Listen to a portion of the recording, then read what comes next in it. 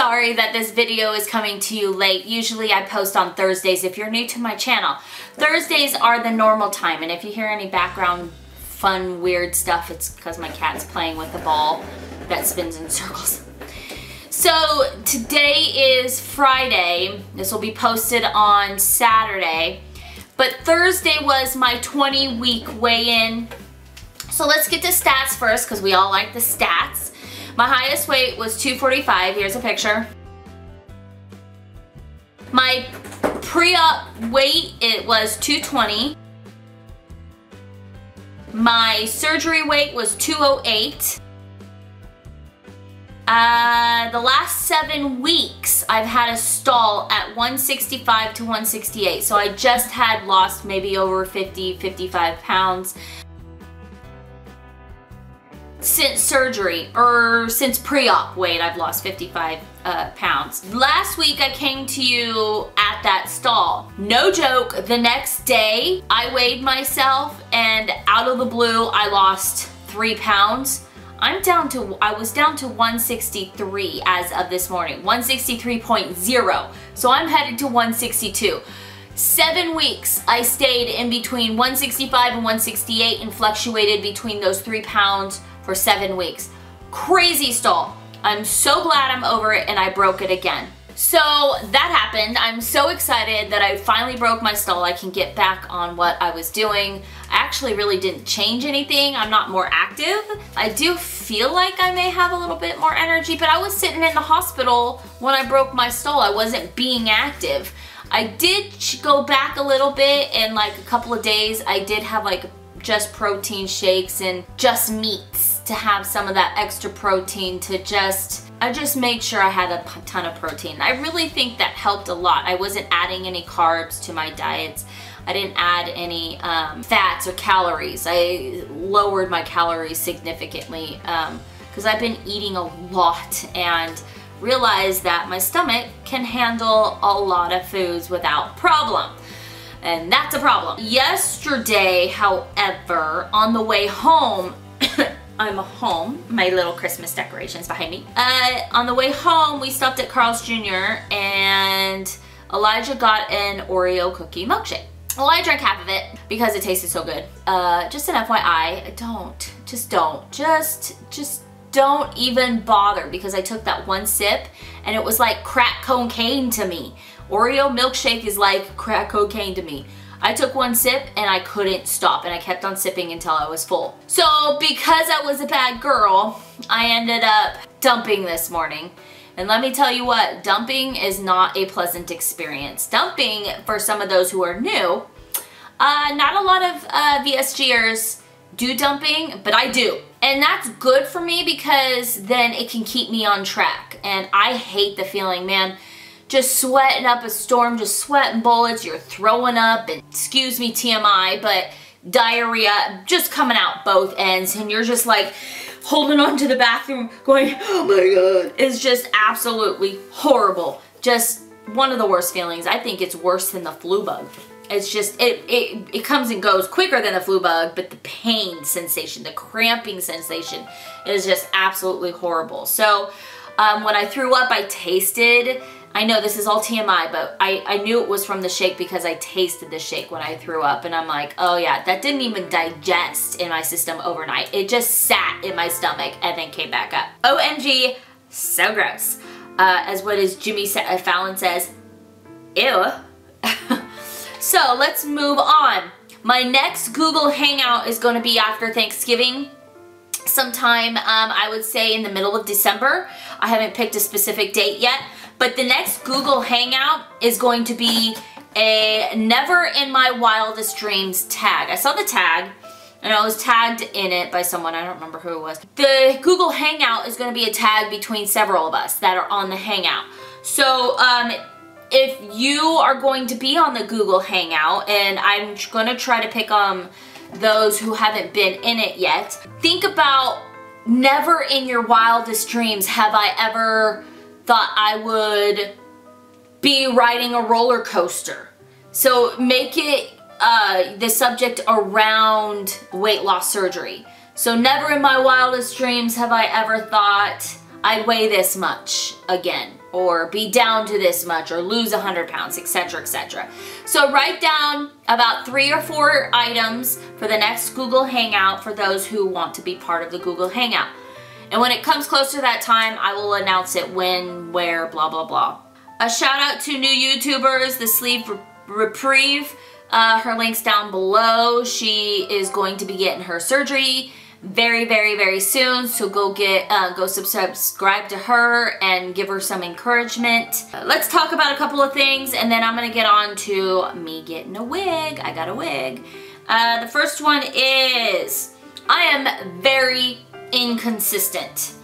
Uh, especially when it comes to pills and eating. And this is my biggest, biggest downfall. I am so inconsistent with ev almost everything, almost everything, except for YouTube. Well, YouTube's the only consistent thing that I have for my daily vlogs. But for my weekly vlogs, obviously I'm inconsistent because I'm posting this on a Saturday and not a Thursday.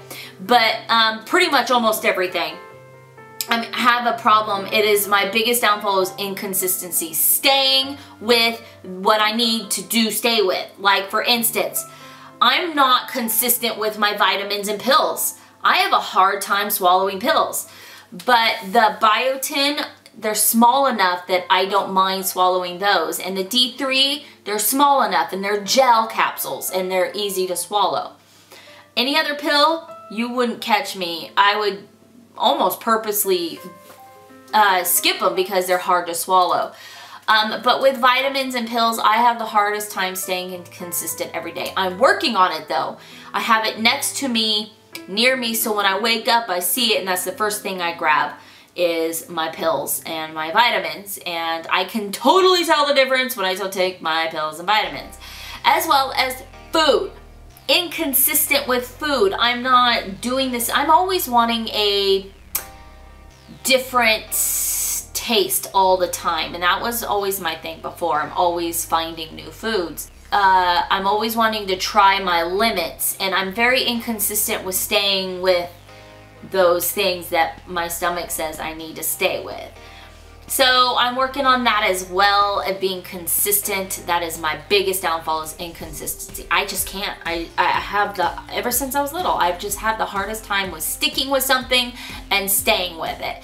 And um, it goes for rules around the house and whatnot. So positive thoughts, okay guys? It's pretty bad. okay, so next, non-scale victories. My biggest non-scale victory this time is walking uphill without getting out of breath. Uh, there is a parking lot structure by the hospital and you have to walk uphill to the hospital. And when I weighed more before the surgery, I would get out of breath just walking up a little short amount from the parking to the hospital. Going upstairs, I would get out of breath. And I noticed while pulling a wagon full of luggage and stuff, I literally sped walk up that hill without getting out of breath. And I got to the top and I felt like Rocky, do you know his theme song.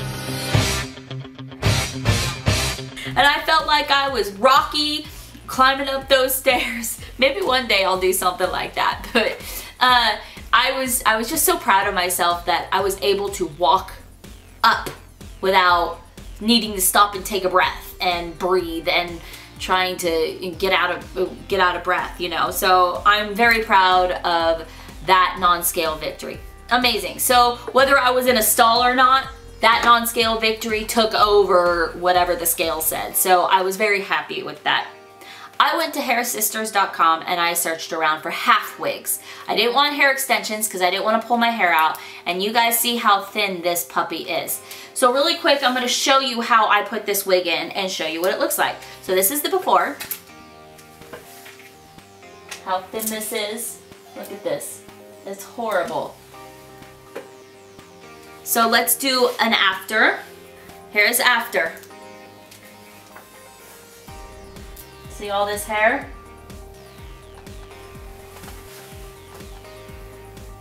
And personally, I love long hair. So I got a long wig.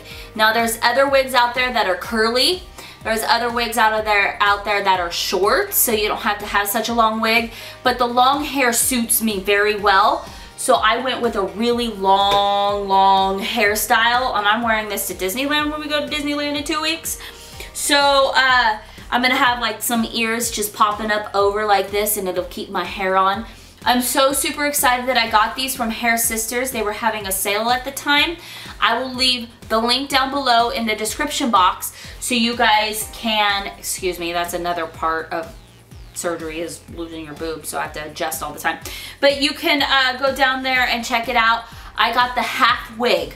The half wig is the easiest out of all of them. I don't. I didn't want a full head wig. I didn't want a um, extensions. I didn't want any of that. A half wig seemed to work really well. I like the fact that it just combs right in and then I could take it out every night and uh, redo it every day. And it took usually takes me about five minutes without trying to do a tutorial. I just put it in and uh, get it get her done. So what do you guys think? Do you like it? Let me know what you think if you like the hair. My hair was already dyed black. Remember I showed you guys last week that I dyed my hair black? So I decided to go for a black. I got another wig which is more of a dark brownish with some highlights in it. Beautiful color highlights.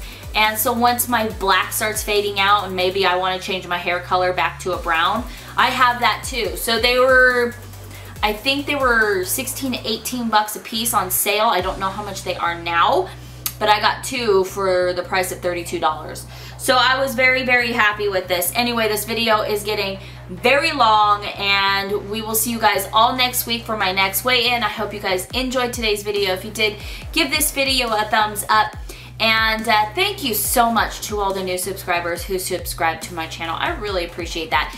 If you did subscribe to my channel and you are going to go through surgery yourself or just going through surgery and you have a YouTube channel, let me know let me know your channel and I will come to your channel and I will subscribe to you and um, watch you as well. I love spending hours, uh, intervals, uh, watching you guys on YouTube and I will comment and say hi on your channel as well. So make sure you press that red subscribe button and we will see you guys all next week for week 21. Love you guys. Ciao. Uh, I just wanted to say, um, uh, and, um, uh, um, but, uh, and, uh, uh, um, you know, um, uh, uh, I'm, I'm just, blah, blah, blah. Uh, um, jeez.